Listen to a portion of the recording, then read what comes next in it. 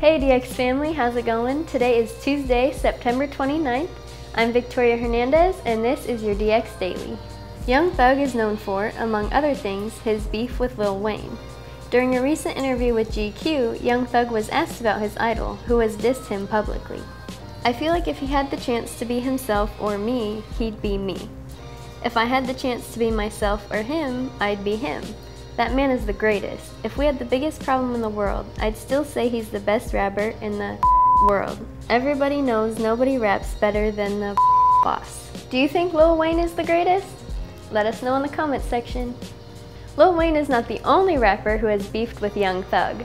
Thugger has also had his feud with The Game, who has his own set of concerns. The Compton, California rapper is now being threatened with arrest after comments he made on The Breakfast Club about radio personality Star. Here's the clip. Envy, you know, back in the day, like I remember, like what, what, who was the dudes on the radio Yep. out here? Mhm. I told him, I, uh, Starbucks. I was like, dude, I'll break your jaw, dude. Like Envy is my dude. I still gonna break his jaw when I see him. I don't, I don't like, I never seen him since then, but I got you. Star responded on his video blog and explained the situation. On letting Game come on my show. And that's what Game's tight about. The fact that the hater, Star, rejected him. Star then alerted law enforcement of the game's comments. The police have threatened to arrest the game next time he comes to New York. Many rappers, including the game, have addressed their experiences with police in their music. Oceanside, California rapper John Givez adds his voice to the conversation with his album Soul Rebel.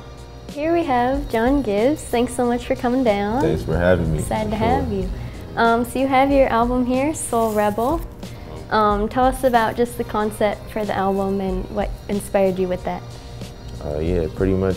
I mean, it's based about a myself, a kid like myself, growing up in Oceanside, California, um, being surrounded by, you know, gangs, um, prostitution, all this, all this different stuff that kind of uh, sways him back and forth, but having a foundation of being brought up in the home, like with faith and just good um, morals and, and good things to live by. So coming to a point where, you know, his soul's drifting every which way.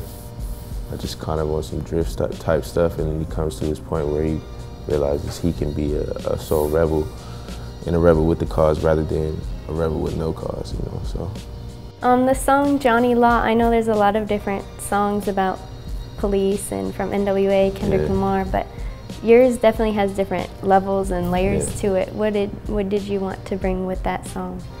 yeah, for that song, it was definitely trying to expound on uh, racial profiling at like the bare surface, but then you go into it and you realize some of it we, we, we do kind of put on ourselves, just riding around doing what we want to do and thinking there's no authority to it. And then the third layer is me like learning from my mistakes, but still having the shakes like when I see the police because you know just the racial profiling which is the first layer. So yeah there's there's multiple layers to it but it's not a song to like hate the police. It's just a song to kind of reconcile you know if anything yourself to a, a higher standard of uh, behaving when dealing with them you know This is Victoria Hernandez with John Givez, and that's your DX Daily for today. For all the hip hop happening, visit hiphopdx.com.